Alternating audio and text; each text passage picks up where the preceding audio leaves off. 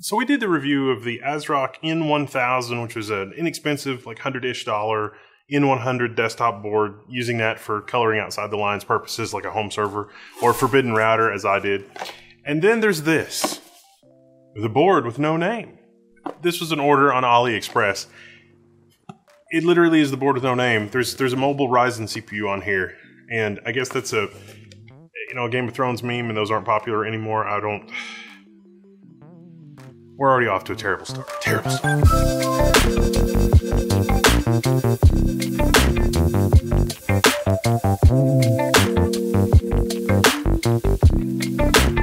Okay, so check this thing out. My configuration is an 8845 HS.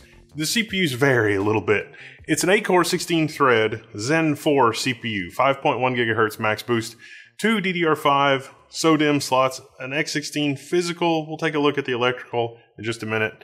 Uh, PCI Express slot, nine SATA ports, eight of which are through two high density SFF connectors, and then plus one other SATA, which could be used for a you know disk on module or boot drive, whatever.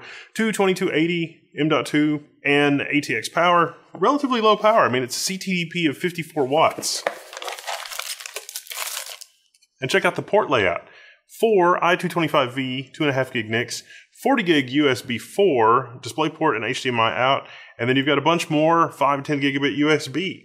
This is a weird little board, but I love it. It's also really weird because it comes with this built-in copper shim, which is basically just a mechanical adapter to Intel style square cooling. Oh, okay, okay. Okay. Standard CR2032 lithium battery, no Type C connection for the front panel or anything like that. We do have two onboard USB 2 headers as well as two more USB 2 breakout headers. So you could get a total of six USB 2.0 ports on this if you really wanted to, and a single 3.5 millimeter audio out, which appears to be TRS, so that could be good for a stereo connection. This might be the ideal platform for a powerful home router slash home firewall with stateful packet inspection slash this thing is maximum overkill because it's eight cores, 16 threads. Like the Firebat T8, I think, is really popular on the forum because you could do some really creative stuff with it and because it's $150. But with this, because you've got the eight onboard SATA ports, you could sort of eschew having an add-in LSI controller for disks if you're happy with up to eight disks. So that saves about $100. So, you know, $150 plus another $100 for your your SAS controller or your your SAS HBA. It's like 250 and then you go like another $100 is 350 and then okay. So, this is a, about a 4 to $500 thing in the bare bones configuration. It's a little higher end, but that 5.1 gigahertz single thread clock speed is like having at least 16 efficiency cores. I mean, that's going all the way up to like an N305 and then doubling it and then adding a little bit more on top of that in terms of horsepower. Do you need that much horsepower in a home server? Mostly no. And if you're going to run ZFS, you also really don't need that much horsepower, but it does let you run smaller blocks on ZFS because the smaller the blocks, the higher the overhead. But the smaller the blocks, the higher the better random performance, the better performance of virtual machines that are running on a ZFS pool, etc., etc. Also, the dual 2280, one on the top of the board, one on the back of the board, could be good if you're going to rock something like an Optane for cache, but those are 22 110, so you'd have to get creative about mounting it. You could also do a breakout cable where you go from a 2280 into a U.2 connection those cables are still pretty easy to get. And of course, you've got an expansion slot. So we'll be doing exotic things like I've got my Mellanox Connect X5 here, which is dual 25 gig. And so like in this configuration, we've got four two and a half gig plus dual 25 gig. And this will rock your world in terms of building a stateful packet inspection firewall thing that will run at wire speed, two and a half gig. Plus, you've got the modern Zen 4 cores, so you can get all that VPN acceleration, all that wonderful, delicious WireGuard or uh, OpenVPN to packet acceleration goodness. There's a couple of things I don't like about this board. One is that the VRM area, there's no cooling or heatsink or anything. But again, CTDP max on this chip is 54 watts, and there is kind of a lot of VRM. It's a 3 plus 2 plus 1 ish, basically. Not exactly, but this is a mobile chip, so things get a little fuzzy. Uh, even at 54 watts, as long as there's some cooling, you're basically fine. It also has a hardware TPM header and a physical RS-232 header. So if you need a hardware serial port, you can do that. This is, of course, standard ITX form factor, so you could shove this in basically whatever you want as far as ITX form factors go. There's really a lot to like about this little board. In the box, you just get the board and an I.O. shield. And as far as like warranty, BIOS updates, any of that, basically none of that. So when you consider that $500 seems like a lot, but eight fast Zen 4 cores plus everything, plus everything else, you really don't get tremendously better support from some of the other boards. Listen, if level one ever gets large enough that we can do group buys of these where we're buying like 100 or 200 of these at a time, I will sell them and support them on the level one tech store. And then maybe we get a little bit better BIOS updates and a little bit better everything else because, hey, maybe we can, you know, get access to the BIOS tools and just build our own BIOSes and do the unlocks and do everything else. So let's put a little system together and take it for a spin, see what we're, see what we're up against. So I want to test this on Proxmox. I want to test this as a standalone Linux operating system. I want to test this with router top. Maybe is this good for FreeBSD? Spoiler alert: no, because Zen 4. But you can run it in a Forbidden Router virtual machine, and then that works fine. Proxmox running OPNsense or pfSense. It's an option. One thing I really like about this board is that it has an absolutely ridiculous number of LEDs at the corner to give you status. Like a lot. More than any other board you've ever seen. The BIOS appears to be fully unlocked as well, so you can really get in there and tweak and tune. It's the Aptio setup, AMI. It's sort of a blue screen. They haven't really done any customization. This is basically, you know, sort of bog standard for what you get when you initially start customizing something. As you can see here, we've got our 8845 HS with the Radeon 780M graphics. Now, the Radeon 780M graphics, we actually can leverage those hardware encoder decoders in Linux. They're not quite as well supported as QuickSync or anything like that, but the amount of progress that has been made on the software side the last couple of years is really incredible. So it is possible to use those for hardware acceleration with things like Plex Media Server and Jellyfin, but you do have a couple of hoops that you have to jump through in order to do that. They also work really well with OBS, Open Broadcaster. This platform is configured with a TJ Max of 90 degrees C that is overridable in the BIOS. It also supports Eco Mode. In Eco Mode, it's going to lower the power that the system uses. You can also fine grain control that with TDC and EDC control here in the BIOS. But, all right, so the power specs for this thing are very, very impressive. Out of the box, from the wall, with my 80 plus gold power supply, we're talking like 65, 70 watts before we start adding anything. A neat trick for testing that, booting off of the network. But still, that is extremely low power. It doesn't have out of band management or anything like that, so there you go. The BIOS does give you smart fan control of both of your 4 pin fan headers that's CPU fan and system fan, so you can control the fan to be whatever you want. It supports above 4G decoding, resize bar support, SR-IOV, BME, BME DMA mitigation, and hot plug support. One thing this BIOS does not seem to have support for is PCIe slot bifurcation.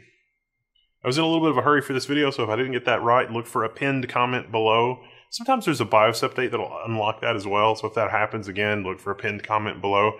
But as of right now, with the 2.22.1292 BIOS, bifurcation is not going to be an option. So you're not going to be able to take that PCIe slot and split it up into, you know, groups of four or eight lane devices. It's just, it is what you get. A single PCIe slot. If you really got your back up against a wall, you can turn those M.2 into a PCIe slot that's four lanes. But I don't know I recommend it. This platform also supports AMD's RAID mode on your 22280 M.2, but I don't recommend that. Especially if you're going to run Linux, just run Linux MD. You don't need you, you don't need AMD's RAID. It's fine, I promise. I also tested with add-in cards. This is our small form factor, factor Ada 4000. It shows up like you'd expect. It works perfectly with its 20 gigs of VRAM. Our Mellanox Connect X5 was detected and worked correctly. Again, very nice. The IOMMU breakdown on this board is also very nice. Each of the 226V NICs is in its own IOMMU group, as well as our storage, as well as pretty much everything else. It has two ASMedia SATA controllers on board, as well as what's built into the system on chip. So, ah, uh, you know, nine SATA ports What do you want? I mean, that's fine. It's totally fine. And you can kind of see the breakdown of the other PCI Express peripherals that are that are in the system on board, other than you know the, the, the small form factor Ada. That's that's in the PCIe slot. Performance wise, this thing runs like a bat out of heck. It basically is the highest performance tier of this mobile processor. It feels like a desktop. It's basically identical performance to what we've gotten from mini PCs like Minisforum and everything else. Recently reviewed the MS01. Now the MS01, you know, that has onboard 10 gig, and it's only a little bit more expensive than this. So the price here might be nice if it was a little bit more aggressive. But if it came down to would you rather have, you know, the 12 700H or a 12 900H versus this, I think I would rather have this because it is 8 performance cores and 16 threads. Technically, you have more cores that you can work with, and theoretically, you should have higher performance from the Intel part, but the reality is you don't, especially on Linux. Now, Proxmox on this works pretty well. You will need the very latest bleeding edge kernel because of the Zen 4 architecture that we're working with here, and especially RDNA. If you're going to use that 780M, you're going to need Linux firmware. You're going to have to jump through some hoops in order to get that to work correctly. And if you're going to do virtualization stuff with that on Proxmox, there's yet more hoops that you'll have to jump through. If you're using an add-in GPU, I suggest disabling the Radeon 780M to avoid uh, kernel oops messages, which you might get if you don't configure the Radeon 780M on this platform, or make sure that your kernel is up to date on Proxmox. This board is every bit as delightful as I hoped that it would be. It is a powerhouse machine. I kind of wish that they had a 16 core variant of this motherboard that was just marginally more expensive or alternatively, something that was priced a little more aggressively, something in the $380 range, maybe that gives up a feature or two. I might have also liked to have seen one or two onboard NICs that were 5 gigabit as opposed to 2.5 gigabit, maybe a 10 gigabit port, maybe an optional X550. Of course, you do the M.2 cheat codes, add some 10 gig NICs that way. They're kind of pricey. You can still pick up Intel X550 or even, you know, an, an X810 and add that or Mellanox, you know, Connect X4, Connect X5 if you can go fiber optics. Sometimes 25 gig does actually work out really well. The insanely high clock speed here means that things like ZFS and iSCSI and all that is going to run insanely fast from this platform. And the fact that, you know, at the wall we're pulling max 65 watts and about 7 to 8 watts at idle. It's a very impressive platform. Options for build, 3D printable ITX case. You can take a look at the Silverstone case we've reviewed previously. That would be a good fit, although, you know, that's kind of a pricey case versus something that's 3D printable. we did our own 3D printable cube back here for display controls. That would also make a good case for this, assuming that you didn't need a lot of 3.5 inch storage. There are some pretty interesting cases that are 3D printable um, that will hold, you know, four, six, eight, three and a half inch hard drives and an eight bay case for this motherboard would work really well with the ninth SATA port going for your operating system drive. And then that leaves all the M.2 free and everything else. There's a lot of things you could build for this motherboard using it as sort of the beginning ingredient. So that's why I thought it was exciting and fun to look at. I mean, heck, you could retro convert an old Supermicro case that had, you know, ancient Nehalem Xeons. Just swap out this ITX motherboard, make sure it's got adequate cooling, for cooling, I tried a Noctua L9i as well as a no-name $20 cooler off of Amazon. Both worked equally well because this thing just doesn't really get hot. I mean, 54 watts max CTDP. It's fine. I'm Wendell this level one. I'm signing out. You can find me in the level one forums.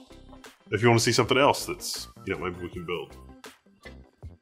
I just like the idea of having this ancient 200 watt power supply as long as I don't do go too crazy with add-in peripherals. Yeah, 200 watts gets it done. 200 watts gets it done.